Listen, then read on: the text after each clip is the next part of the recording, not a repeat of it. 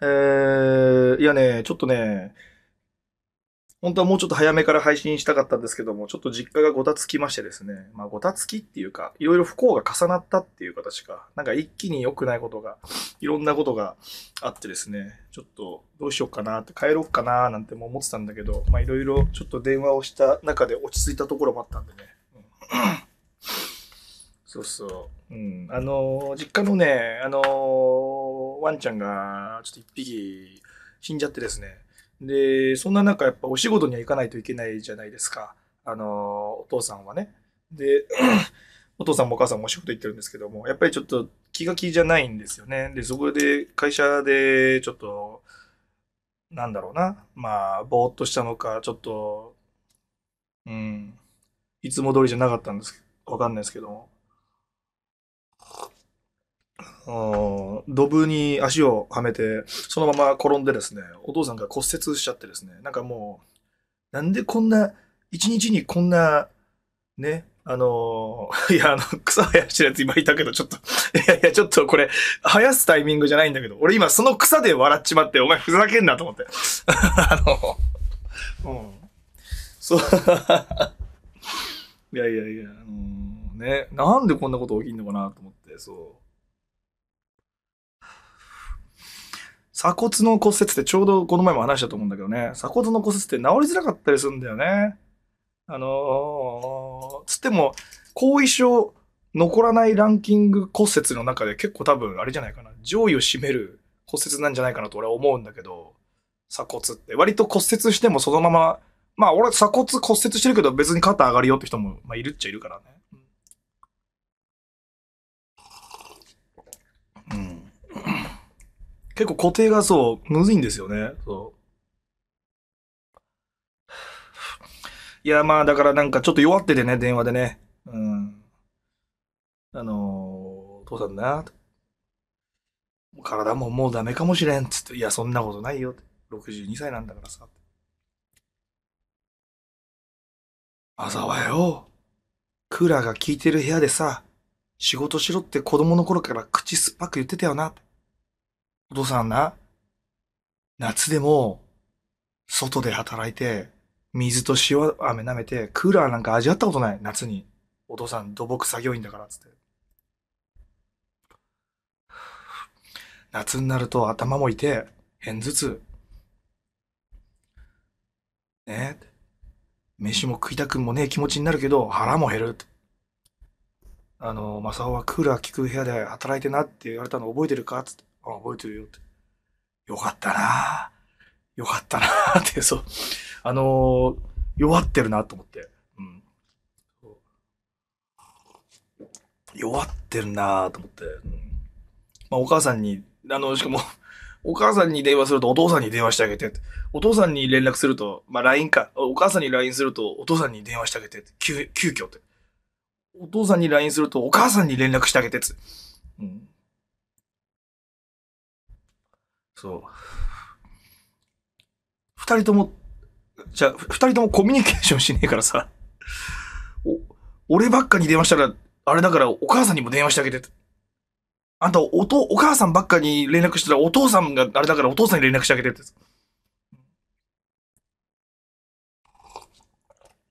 そう。あのーお互い共有しない家庭なんで、そう。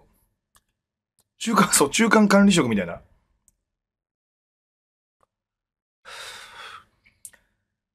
いやー、まあね。まあまあまあまあ、そんなことがありまして。やっぱこういう、ちょっと、何よりも、あのーまあ、自分たちのさ、母ちゃん、父ちゃんも、こう、じじいばばあにやっぱなってくものじゃないですか。いずれは。いずれはね。転ぶんですよ、いずれ。人は。じじいになり。とうとうそれが来ちまったかっていう、なんかちょっと、今こうやって町田で一人でピャースクしてるんですけども、ね、こう、ま、ま、骨折したのがもしこれが頭蓋骨だったら、大腿骨の頸部だったらとかね。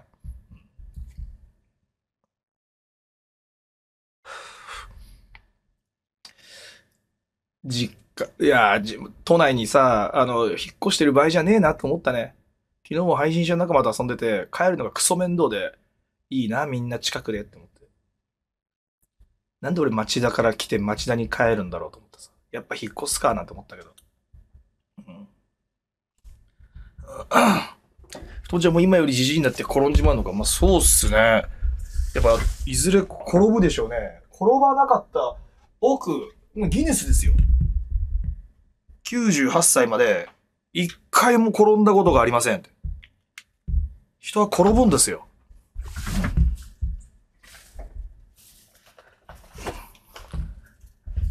うん。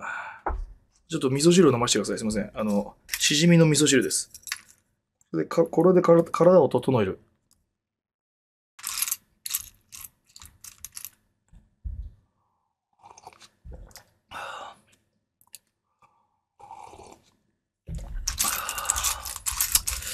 出来上がり。そう。体が整ったわ。なんか右目くそか、あ、そうそう。こっちでしょ？あの、人は17時間コンタクトをしました。で、その次の日に24時間コンタクトをしました。で、その次の日に、えーどのくらいしたんだ？えっと、8時半に起きて、コンタクト外したのが12時だったから、まあだから19時間ぐらいコンタクトをしました。はい。17時間コンタクト、24時間コンタクト、19時間コンタクト。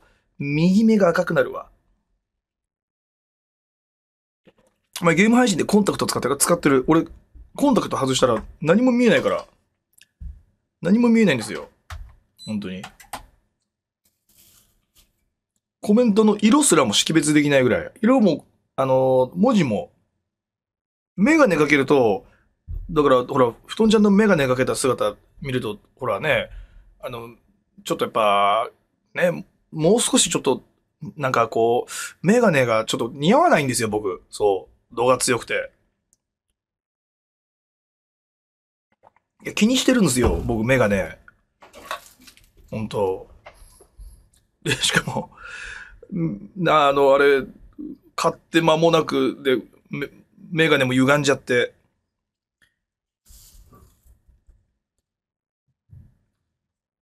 魚拓メガネ。うん。まあ、まあいいんですよ。あの、なんでかっていうと、それあれですね。僕が幼少期の頃というか、小学校3年生から僕メガネなんで、やっぱり小学校3年生、まあ、小学校で初めてメガネをかけて登校した人ってさ、やっぱりちょっと注目を浴びるじゃないですか。いろんなことがありましたよ。あの、いじられることもありますし、ありまありましたし、羨ましがられることもありました。うわーお前メガネだダッセーっていう人もいれば、うわーメガネだかっこいいみたいなね。気持ちがぐちゃぐちゃになりましたね。そう。メガネをかけるだけで、僕に構わないでって。ロマンシングなことで言うと。僕に構わないでそんな気持ちもあったんだけど、小学校の僕は、お前もかけてみる？みたいな対応をとって、うん、うわーっつって、ベタベタベタベタベタって。うん、そう、メガネかけられたりとかね。うわーって、なんも見えねーって、なんだこれみたいなさ。いいなって、お前ら。俺は、うち、一、俺は目が悪いんだが、一番後ろの席が好きなんだ。そう。あのー人に、あの、背後を取られたくないから、子供の頃からさ、もう小2ぐらいの時から席替えの時は、あの、くじ引きだったんですけども、前になったらば、絶対後ろの人に、ちょっとあり、これさ、これ、100円あるから、交換してくんね。ねみたいな感じで俺交換してたんですよ。ありつって、つって。そう。買収してたんですよ、僕。あの、今度、あのー席が後ろがいいんでね。でも、っていう、っていう中があるんで、僕、高校3年生までずっと席後ろだったんですよね。本当後ろで何してんだよ。いや、まあ、本当なんかね、背中に立たれたくないんですよね。そう。陰部触ってるのがバレたくない。いや、そんなことはない。そう。別にたまにこうやって、ふにゃふにゃってあったけど、別にそういうのがバレたくないってわけじゃない。背中にバック取られたくないんだよね。だけど目が悪い。難しかったね。だからメガネかけることを余儀なくされた。しかし中学2年生の春、ハードコンタクトを買い、それをつけて学校に行った時は、うーわ、廊下の傷まで、おっぴろげって。廊下の傷を肉眼であんなに見れたのは、すごい幸せでしたね。うん。廊下の傷、こんなおっぴろげって。はい。死んだワンちゃんってどうするの？死んだワンちゃんはね、あの、あさってかな？明日、明日かな？明日、明日仮装ですね。はい。あのー、亡骸の写真がね、送られてきて、あ周りには好きだった食べ物とかね、あの、お花がこう、えー、周りに飾られてあって、はい。うん、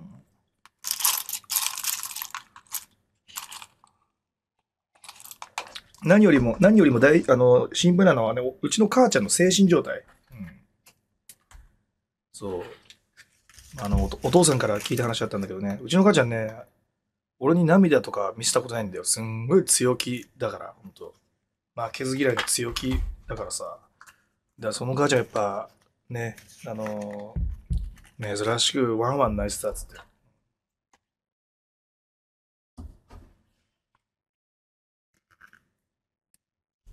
お前らさ、まあいいや。うん。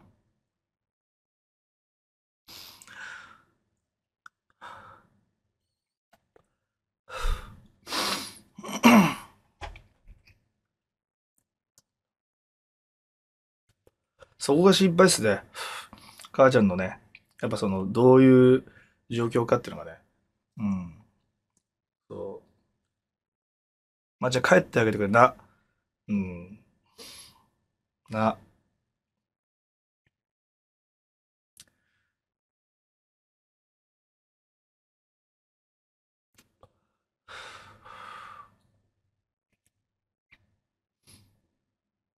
まあな。そうだな。うん。家族で、いや、あのね、家族旅行とかさ、家族で飯とか食べ、行こうよって話してたんですけど、あのー実家のマロンちゃんが体調悪くしてから、うちの母ちゃん外出なくてさ、だからさっき電話した時に、まあちょっと落ち着いたらでいいからさ、今度また飯でも食べようよっつったら、びっくりした言葉が返ってきて、いや、当分いけないと思って。冷静にね、うん。冷静に、そうだよな、つって。うん。僕も、なんて声かけたらいいか分かんなくて、こういう時に。なんて声をかけたらいいのかが、よくエールで来るじゃないですか。ペットがロスしちゃいましたって、友達とか大事な人とかが、なんて声かけたら分かんねえやつもって俺も。これ分かんねえや。ほんと。寄り添うだよな、やっぱな。それは。まめに、なんかちょっと気にかけてあげたいとかな。うん。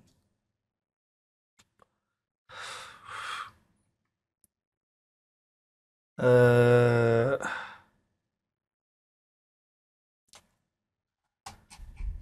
1ヶ月連続着用コンタクトって調べてみてくれ。え、そんななんすか？ちょっと、1ヶ月連続コンタクトなんてあるんですか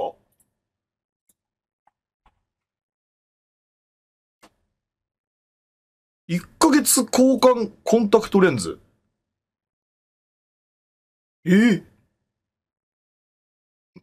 寝たまま、すごい、本当だ、マジで。1ヶ月定期交換のソフトコンタクトレンズ。エイムアビュー。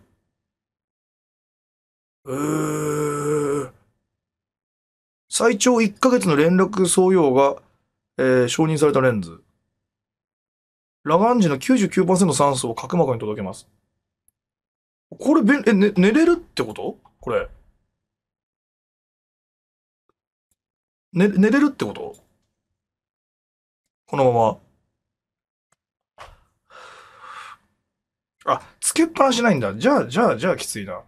寝れんなら最高だけどな、もう。これ。レーシックだと怖えからさ、あの、なんか、ショート動画のひろゆきさんの切り抜きも出てくるから怖いし、レーシックって、あれ、結構身近に答えがあって、あの、レーシック進めてくる医者、みんなメガネなんですよね。はい。いや、ゾッとしたよね、あれ、俺。うん、あれ、ゾ、ゾってするんだけど、あれ。うん。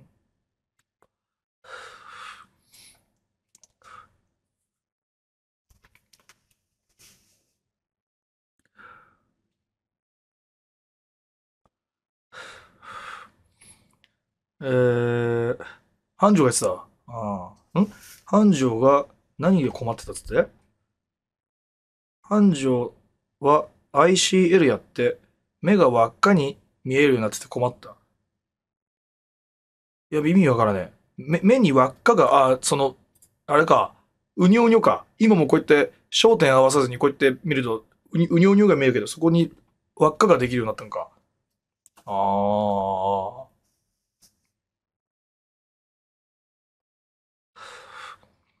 非分症とは違うよ。子供の頃から見えるもん、俺。あれが青みだろ。うん。こうやってあの、顕微鏡で見た時の、緑虫とか青みどろとかミジンコみたいなこうやって見えるじゃん。こうやって。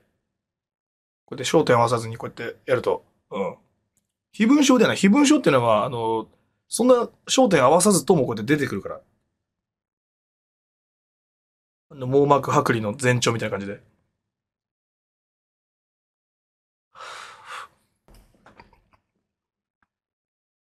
昨日さ、配信者たちでパチンコ行ってきたんだけど、あのー、サマイ数は、あの、店側がマイナスな日だったんです。つまり、全体の、あのー、お客さんは、要は勝った日なんですよ。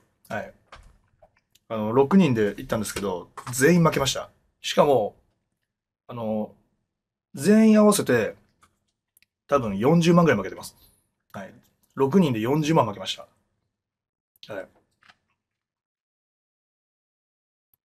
うち、うち一人は、あのー、設定6のブブブ座ったんですよ。バルブレイブの設定6座ったんですよ。確定が出て。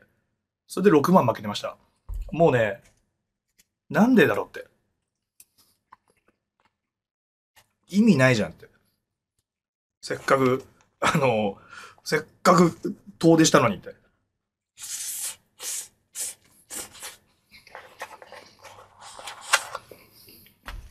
はい。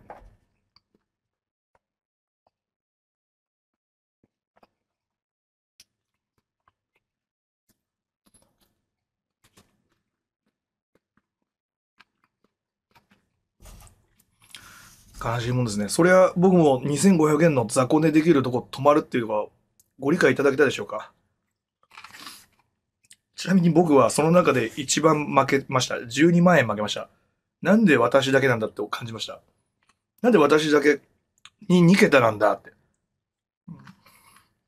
なんで私だけ2桁なんだよ、本当に。意味がわからん。なあ、俺1年間ぐらいパチンコ買ってね。な、なんなんだこれ。1年間ぐらい買ってねえぞ。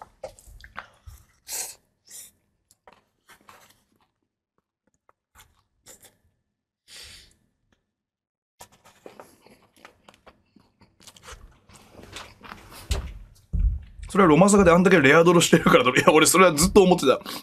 流、今は流星ゲイボルクの方が大事なんだけど、昨日は、もう流星ゲイボルクいらねえから当て、当たってくれよ、これよってクソ天下みたいな感じで、ブツブツ言いながら、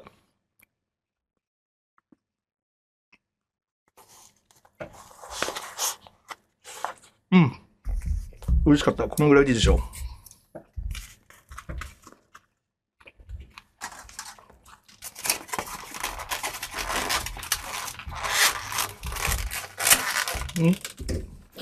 残りは後で食べる。絶対後でお腹すくから。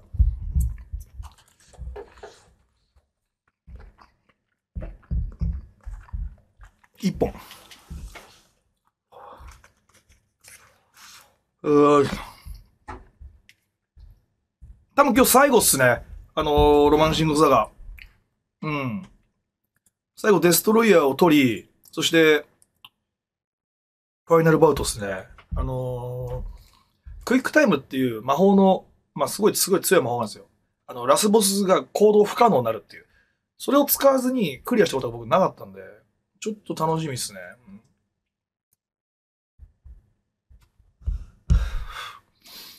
うん、よし。えー、行ってみますか。ちょっと、ちょっと、ヤニだけもう一本さして。布団じゃでなんで髭剃らないんですか？え、なんでだろう？うん。別にあの、誰かにね、もし僕がこれで、デートが今日ありますとかあったら、あの、あれですけど、皆さんの前で別にね、身だしなみを整える。いいだろう。そんな間柄じゃねえだろう。別にいいだろう。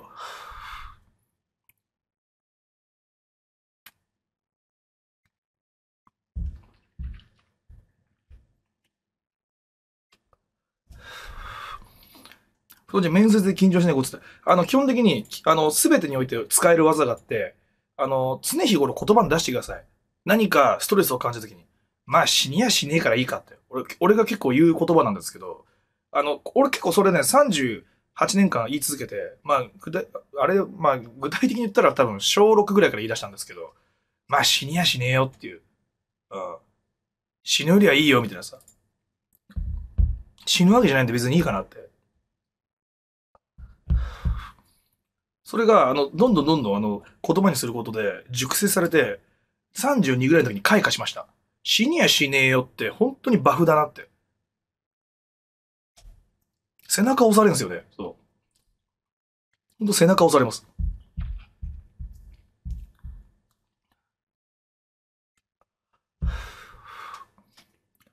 えー、俺はこれ終わったら死のうにしてる。それでもマイナス方向だな。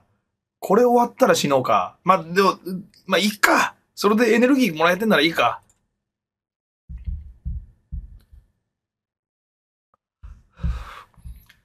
そのぐらい頑張ろうっつってね。で、クリアするじゃん、課題を。そしたら、生を実感するんだよな。まだもう少し生きてみっか。まあ、それもそれでいいと思うわ。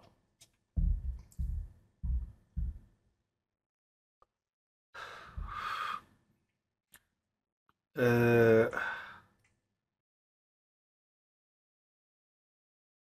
とんちゃん今日学校に行ったらみんなに脇がって言われたらどうしよう。まあ、そういう時は、あのー、お前らってさ、数合わせないと俺に脇がって、あのー、言うけど一人では言わないじゃん。お前ら結局、群れてる羊みたいだなって。俺みたいになれよ。群れない狼にって。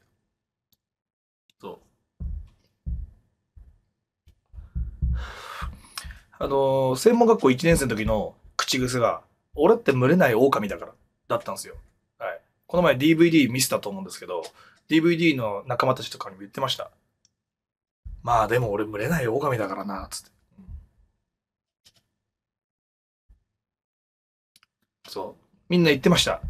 あの、タハハとかじゃなかった。みんな面白いって言ってて、ふん。愚民には伝わらぬか。みたいな感じで、面白いってなってましたね。はい。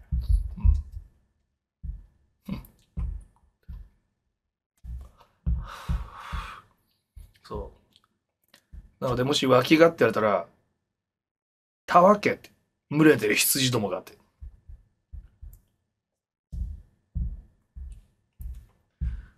脇はお前群れてるのにって煽られたらどう返す？